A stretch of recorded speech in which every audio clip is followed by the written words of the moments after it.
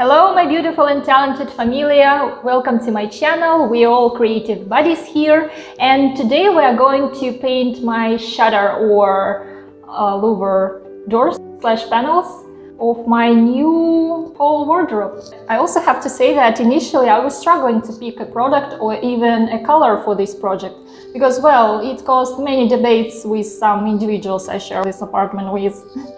But when I finally realized that I don't want any dark or even uh, lighter, bright, uh, dense colors to be involved in this makeover, so I stopped my choice on the white product, but not just white one, no, no, no, no, no. Um, the one which will save this original wooden pattern um, because my hallway is quite narrow and the plan was to save as much breeze air as I can.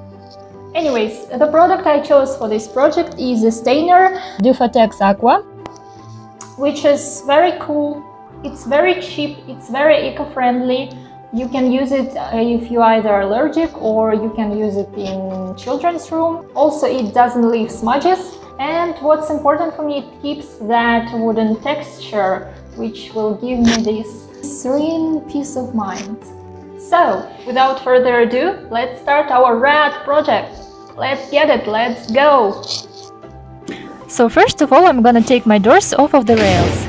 I'm delighted that I installed them that way on the wheels, rather than like classically open doors because as I said, I need to save as much space in the hole as I can. My doors are already clean, but before painting you might wanna sand them of any extra bumps and roughness.